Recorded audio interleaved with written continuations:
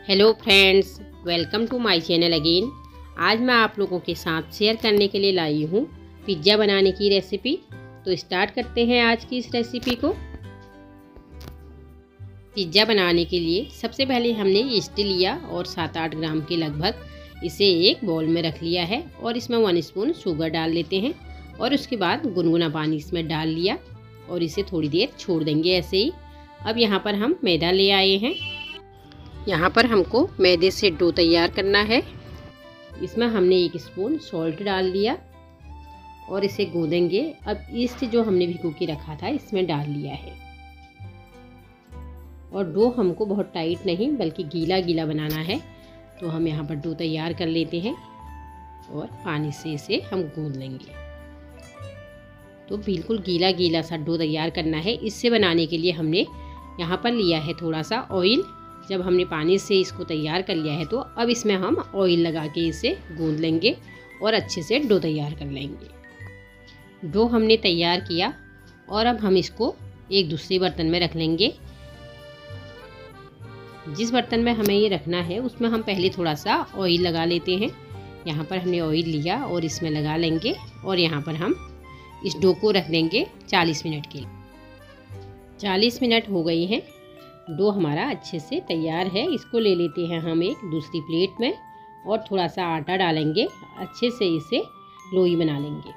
आटा डाल लिया है और देखिए जाली बनी है हमारे डो में। 40 मिनट बाद अच्छे से जाली बन जाती है। अब यहाँ पर हमको जितने पिज़्ज़ा बनाने हैं उतनी हम लोई बनाएँगे। यहाँ पर जो हमारा डो है इससे हम दो पिज़्ज़ा बनाएँगे तो इसे बीच में से काट लेते हैं और पिज़्ज़ा बनाने के लिए अच्छे से लोई बना लेंगे और आटा लगा लेंगे हाथ में। तो यहाँ पर हमने हाथ में आटा लगाया, लोई बनाई, अब इसको हम बेल लेंगे। एक थाली ले ली हमने, उसी में हम इसको बेल लेंगे। अच्छे से लोई को कर लेते हैं तैयार और इसे आटा लगाकर बेल लेते हैं।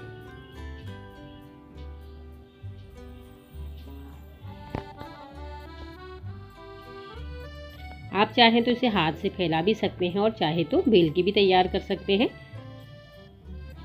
तो यहाँ पर हमने ये बेल के तैयार कर लिया है और इसे हम जिस प्लेट में हमें बनाना है तो उसमें इसको रख लेंगे।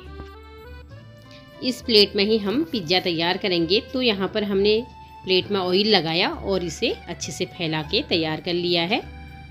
तो ये हमारा पिज़्ज़ा बेस बनकर तैयार हुआ। बेस तैयार होने के बाद हम फॉक की सहायता से इसमें होल कर लेंगे। ये फूले नहीं, इसलिए हम इसमें ये होल करते हैं। तो इसमें सारे में हम फटाफट से होल कर लेंगे। पिज़्ज़ा सॉस लगा लेते हैं बेस में और थोड़ा सा ज़्यादा और अच्छे से इसे कर लेंगे इससे कवर। तो पिज़्ज़ा सॉस लगा लिया है। अब यहाँ पर हम डाल लेंगे चीज़। मोजरेला चीज़ का ही यूज़ करेंगे। पिज़्ज़ा बनाने के लिए मोजरेला चीज़ का ही यूज़ किया जाता है। तो यहाँ पर फटाफट से चीज़ डाल लेते हैं। चीज़ हमने डाल लिया है। अब यहाँ पर हमने कैप्सिकम ली है ऑरेंज कलर में, रेड कलर में और ग्रीन कलर में और साथ में लिया है टमाटर। तो इन्हें इसमें लगा लेते हैं।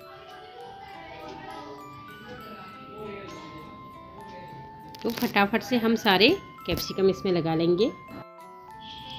ये हमने सब लगा लिए हैं। अब इसके ऊपर से फिर से हम चीज़ डाल लेंगे। तो चीज़ से इसको कवर कर लिया है।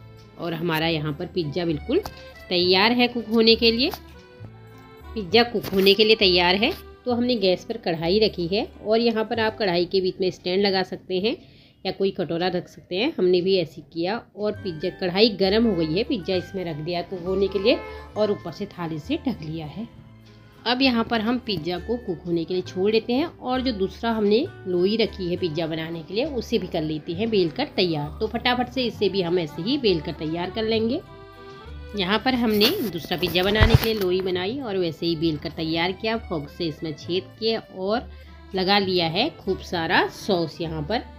तो अब इसमें चीज़ डाल ली ऊपर से। तो इसमें भी हम अब लगा लेंगे ऊपर से सब्ज़ियाँ। यहाँ पर हमने टमाटर, प्याज और पनीर से बनाना है तो यहाँ पर हम टमाटर लगा लेते हैं और थोड़ा सा पनीर लगा लेंगे और थोड़ा लगा लेते हैं प्याज। तो यहाँ पर हमने भी इसको सब्जियों से कवर कर दिया है, खूब सारी सब्ज़ियाँ लगा ली हैं। अब इसमें ऊपर से डाल लेते हैं चीज़। और यहाँ पर 15 से 20 मिनट हो गए हैं, ये पिज़्ज़ा हमारा बनकर तैयार हो गया है मीडियम फ्लेम में। तो ये कुक है, अब इसे निकाल लेते हैं और जो पिज़्ज़ा हमने अभी किया है तैयार, उसे इसमें रख लेंगे। ये रख लिया और थाली से कवर कर लेते हैं। तो एक पिज़्ज़ा हमारा बनकर हो गया है तैयार। तो फ्रेंड्स वीडियो को बिल्कुल भी स्किप मत कीजिए। तो अब इसे हम काट लेते हैं। तो घर पर ही हमने पिज़्ज़ा बनाकर तैयार कर लिया है और इसे काट लिया। ये हमारा पिज़्ज़ा बनकर तैयार हो गया है। तो फ्रेंड्स, आप भी बनाइए घर पर पिज़्ज़ा। मिनटों में ही तैयार हो जाता है। लास्ट वीडियो में मैंने पिज़्ज़ा सॉस की रेसिपी डाली है, आप चाहें तो उसे भी वहाँ देख सकते हैं। और अगर आपको मेरी वीडियोज़ आती हैं पसंद तो प्लीज़ कीजिएगा लाइक, अपने फ्रेंड्स में शेयर और मेरे चैनल को सब्सक्राइब। तो मिलते हैं नेक्स्ट वीडियो में एक न्यू रेसिपी के साथ। Bye bye.